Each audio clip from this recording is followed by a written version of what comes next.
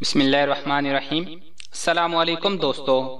اکثر اوقات جب ہم سو رہے ہوتے ہیں تو ہمارے منہ سے رال بہ رہی ہوتی ہے، جس کو ہم میں سے اکثر لوگ پریشان کن مسئلہ اور باعث شرمندگی سمجھتے ہیں۔ اگر آپ بھی انہی لوگوں میں سے ہیں، تو اب آپ کو اس پر شرمندہ ہونے کی بالکل بھی ضرورت نہیں۔ بلکہ جو بات میں اب بتانے جا رہا ہوں، وہ جان کر آپ خود کو انتہائی خوش قسمت سمجھیں گے۔ لیکن اس سے پہلے، اگر ابھی تک آپ نے ہمارا چینل سبسکرائب نہیں کیا، تو ہمارا چینل سبسکرائب کریں اور ساتھ ہی گھنٹی کا بٹن بھی دبا دیں۔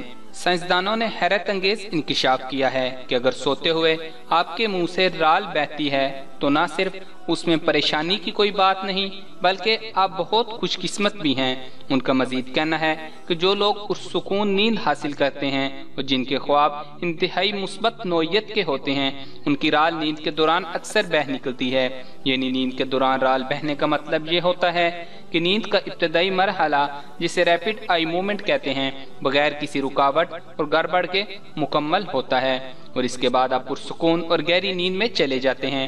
یہ اس بات کی علامت ہے کہ آپ کی نیند میں کوئی خرابی نہیں ہے اور آپ کا جسم اور دماغ نیند سے بھرپور استفادہ کر رہا ہے۔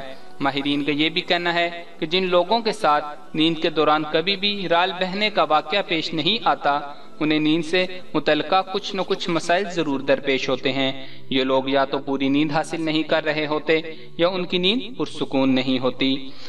اگر ویڈیو اچھی لگے تو لائک اور شیئر کر دیا کریں۔ جزاک اللہ۔